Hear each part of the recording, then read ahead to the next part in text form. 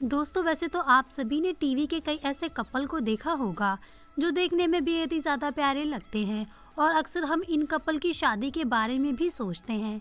लेकिन दोस्तों, आज के इस वीडियो में हम आपको टीवी के कुछ ऐसे कपल से मिलवाने वाले हैं, जो साल 2020 के आखिरी में शादी कर सकते हैं। तो दोस्तों, इन कपल के बारे में जानने के लिए वीडियो को एंड तक ज़रूर देखें और साथ ही वीडियो को लाइक करना बिल्कुल भी ना भूलें। फ़र्स्ट नंबर पे है आविका गौर। दोस्तों, टीवी सीरियल बालिका वधु तो आप सभी ने ज़रूर देखा होगा। इस पॉपुलर शो में आविका गौर ने छोटी आनंदी का किरदार निभाया था। आविका गौर को छोटी आनंदी के किरदार में बेहद ही ज़्यादा पसंद किया गया था।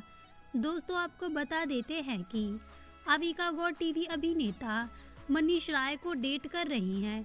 और 2020 के एंड में उनसे शादी भी कर सकती है। फ़र्स्ट नंबर पे है शिवांगी जोशी। टीवी शो रिश्ता क्या कहलाता है? में नायरा का किरदार निभाने वाली अभिनेत्री कई सालों से अभिनेता मोहसिन खान को डेट कर रही हैं। शिवांगी जोशी और मोहसिन खान कई सालों से टीवी शो ये रिश्ता क्या कहलाता है? में काम कर रहे हैं। ऐसे में दोनों को कई बार साथ टाइम बिताते हुए भी देखा गया है। खबरें तो ये है कि 2020 के एंड तक दोनों शादी कर सकते हैं थर्ड नंबर पे है Crystal D'Souza popular actress Crystal D'Souza कई समय से टीवी इंडस्ट्री से दूर है और अपने बॉयफ्रेंड करण टेकर के साथ समय बिताती हुई दिखाई दे रही हैं।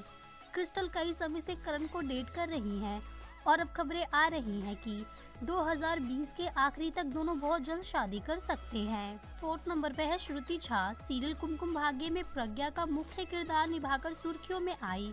श्रुति झा टीवी की पॉपुलर एक्ट्रेस में से एक है। आपको बता दें कि पिछले कई सालों से श्रुति झा कुणाल करण कपूर को डेट कर रही हैं और खबरें ये हैं कि दोनों जल्द शादी कर सकते हैं। तो दोस्तों, इन चारों कपल में से आपको कौन सा कपल सबसे ज़्यादा अच्छा लगता है? हमें कमेंट करके ज़रूर बताइएगा और साथ ही और भी ऐसी वीडियोस के लिए हमारी वीडियो को लाइक, शेयर और चैनल को सब्सक्राइब करना बिल्कुल भी ना भूलें